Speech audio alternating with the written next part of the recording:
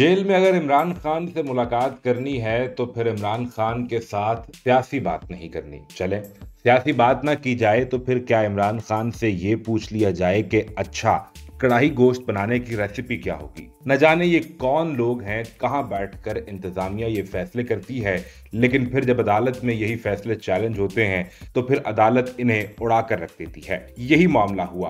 Opposition leader Umar Ayub अदालत में गए और उनसे ये इन रिटर्न बयान हल्फी मांगा जाता रहा कि आप इमरान खान से मुलाकात कर लीजिए, लेकिन कोई सियासी बात नहीं करेंगे। तो इस्लामाबाद हाई कोर्ट के जस्टिस सरदार एजाज इसहाक खान की अदालत ने इस पाबंदी को उड़ाकर ही रख दिया। यानी opposition opposition leader Umar Ayub ने प्रेस कॉन्फ्रेंस में जो कुछ कहा, वो सारी हकीकत काम कर गई। अपोजिशन लीडर उमर अयूब की इमरान खान से मुलाकात से पहले, इमरान खान से मुलाकात के हवाले से भी इस्लामाबाद हाईकोर्ट में केस की समाज जारी थी, जहाँ पर यह सवाल पूछा गया कि इंतजामिया क्यों इमरान खान से नहीं मिलने दे रही। अडयाला जेल के सुप्रिटेंडेंट ने बताया कि हमने इमरान खान से या किसी भी कैदी से मुलाकात पर पाबंदी खत्म कर दी है। अब इनके पार्टी के लोगों की जल्द मुलाकात करवा दी जाएगी। इसके बाद opposition opposition leader Umar Ayub Shibli Faraz और जरताज गुल आमिर मुगल समेत ये सब लोग अडयाला के बाहर पहुँचे। फिर इसके बाद इमरान खान से मुलाकात हुई और जब मुलाकात करके बाहर आए तो प्रेस कॉन्फ्रेंस करते हुए बताया कि हमसे जेल हुकाम ने कहा कि आप हमें बयान हल्फी लिख कर दें कि इमरान खान से कोई सियासी बात नहीं की जाएगी। इस पर अपोजिशन लीडर ने कहा कि फिर मैं इनसे भी मुतालबा करता हूँ कि इदारों के सरबरा भी हमें लिख कर दें कि वो सियासत में मुदाखलत नहीं करेंगे तो हम भी ये बयान हल्फी लिख देंगे कि इमरान खान से सियासी गुफ्तगु।